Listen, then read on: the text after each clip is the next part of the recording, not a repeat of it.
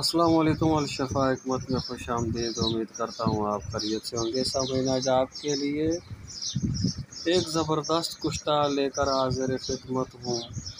ये कुश्ता फौलाद बहुत ही अला दर्जे का ताकत के हवाले से, हर लिहाज से बहुत ही ज़बरदस्त नुस्खा ये कुश्ता तैयार होगा, अगर आप इसे बनाएँगे। तो ये अला दर्जे का कुश्ता है जो मैं आपको बताने जा रहा हूँ।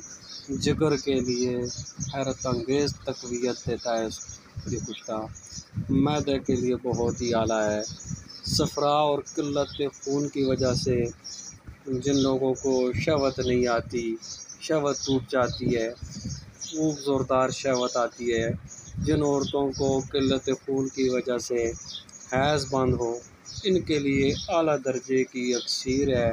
कमज़ोर मर्दों और औरतों के लिए मुफीद है, ये बहुत ही आला दर्जे का ये कुश्ता है। तो इसे अगर आप बनाएँगे तो बहुत ही ज़बरदस्त नुस्खा ये तैयार होगा। तो सबसे पहले आपने करना ऐसा है कि आप बरादा ले लें फौलाद।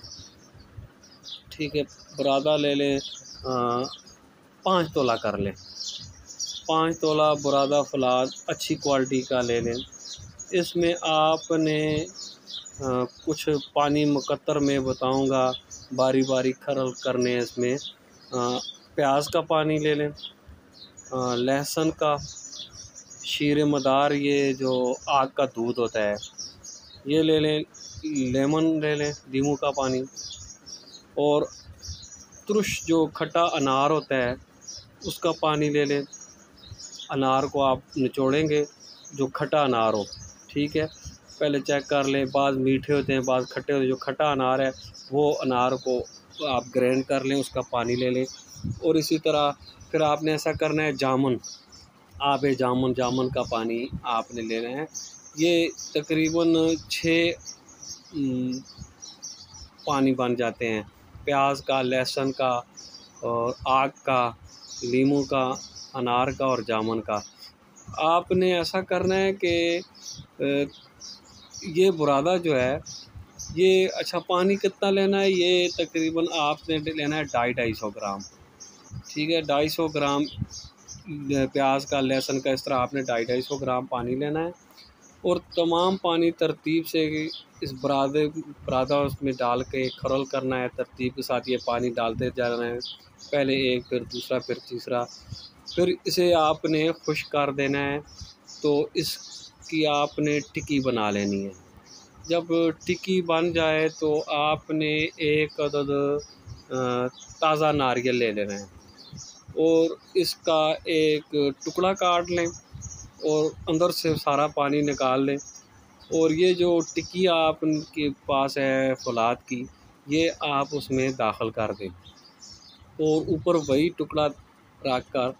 तो आपके पास अगर आटा है माश का या गंदम का कोई भी आटा तो वो लगा दें। खुश को तो दोबारा फिर आपने ऐसा करना है, कोई चिकनी मिट्टी, जो गीली की हुई मिट्टी, वो लेप कर दें और खुश कर दें। फिर आपने ऐसा करना है, एक गड़ा हो, जिसमें आप बीस शेर, बीस किलो जिसे कहते हैं, बीस शेर ओपलों की आग देनी है। जब आग ठंडी हो जाए तो निकालेंगे तो ये सुर्ख कलर में कुश्ता निकलेगा। सुर्ख रंग में, यानी कि ये कुश्ता हो जाएगा और आप इसे संभाल कर रख लें। किसी जार में, किसी कांच के बर्तन में आप इसे संभाल कर रख लें। और इसकी जो मकदार ख़ुराक है, वो एक चावल से दो चावल, तीन चावल तक आप इसकी खुराक इस्तेमाल कर सकते हैं। ये मरीज़ पर डिपेंड करता है उसकी उम्र पर कि वो एक चावल उसके लिए मुफीद है या दो चावल या तीन चावल। तो तीन चावल तक इसकी खुराक होती है एक चावल से लेके।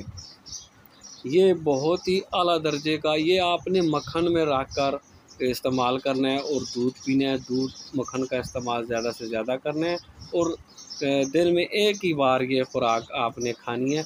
और इसे आप चंद खुराकें ही खाएँगे इन तो ज़्यादा से ज़्यादा पंद्रह या बीस खुराकें बस।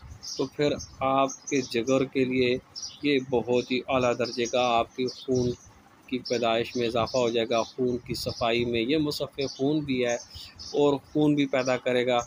किलत खून की वजह से जो कमज़ोरियाँ आ जाती हैं उनको भी ठीक कर देगा। तो ये अला दर्जे का ये कुश्ता है, अगर आप इसे बनाएँगे और इसे बनाएँ, मुझे भी दुआ में याद रखिएगा।